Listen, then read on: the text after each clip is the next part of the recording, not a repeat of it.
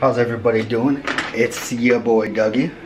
Today I'm gonna go ahead and review some chicken wings with you.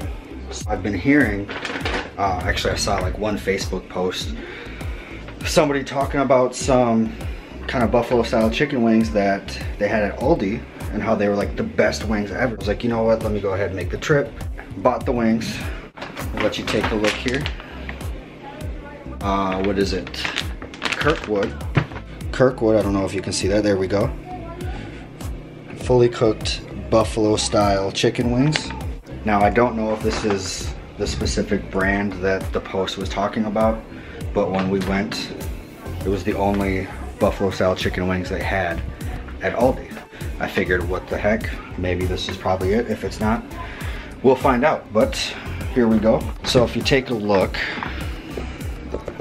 gives you cooking instructions. Um, it gives you two different sets of instructions. There we go. Obviously, preferred method was with the conventional oven, and then microwave. Don't ever microwave chicken wings. I'm just gonna put that out there now. Don't do it. Let's get to it. We already got our pan set up, ready to go.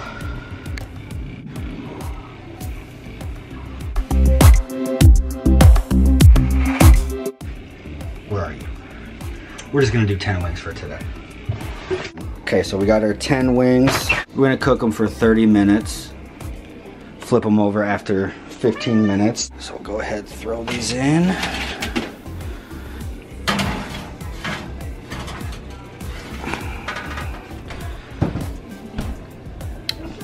Boom, baby.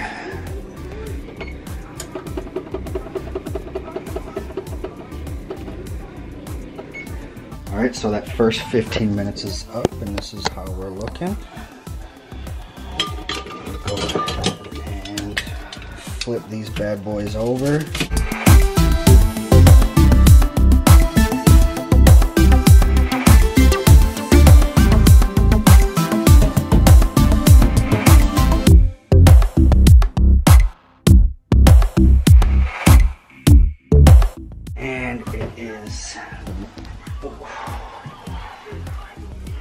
All right, moment of truth.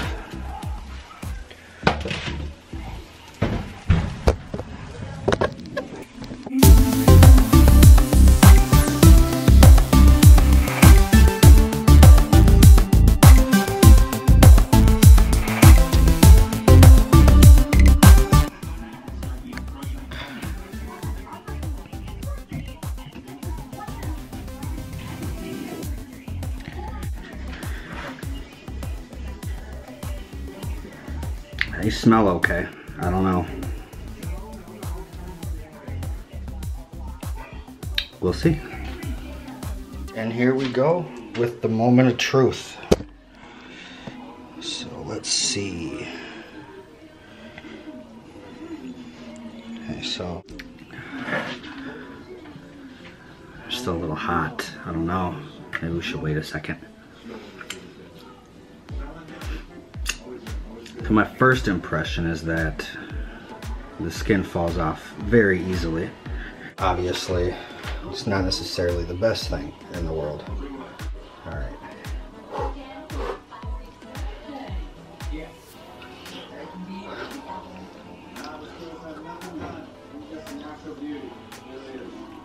Mm. It's not bad. You know, the pre-tossed buffalo are always kind of, you know, hit or miss.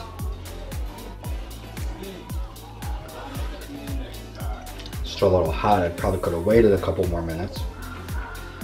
But you know me. I'm impatient.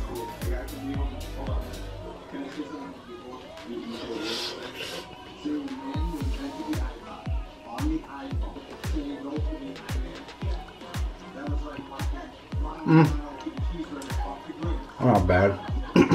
no complaints, but I don't think I'm going to go out of my way to get them.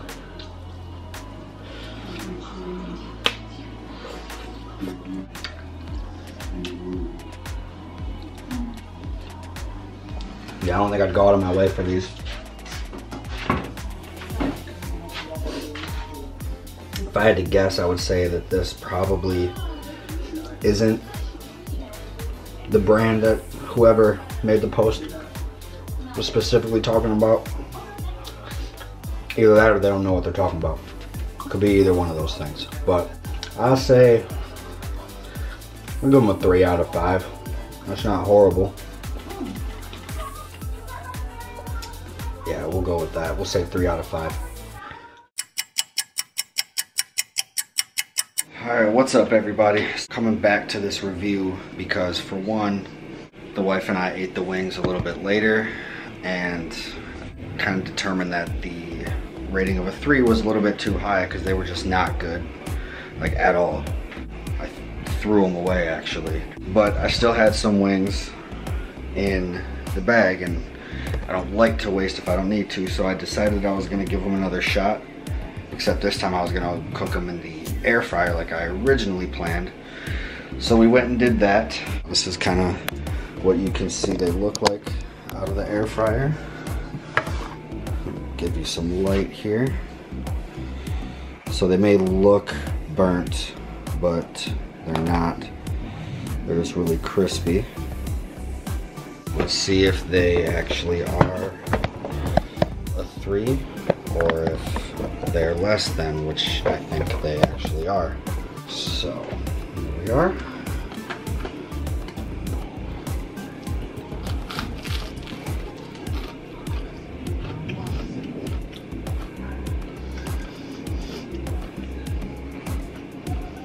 Mm.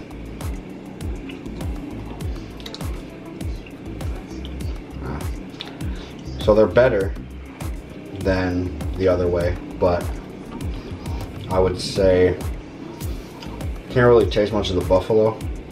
Most of like the buffalo breading and everything kind of like fell off in the fryer.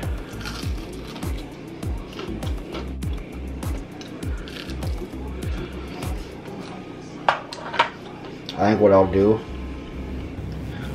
is I think I'll give these a 2.6 overall. It shouldn't make a difference how you cook them, oven versus fryer, for them to be good. They're much better this way. So I'll say if you are gonna get these wings, if you have an air fryer, do it that way. Basically follow the same instructions as if you were doing them in the oven, just with the air fryer. Like I said, Kirkwood Buffalo style chicken wings. I'm gonna give them a 2.6 overall score. Get them if you want to, but you can find better. Of course, make sure you like, comment, subscribe, ring the bell, do all that. And we'll see you next time. Peace.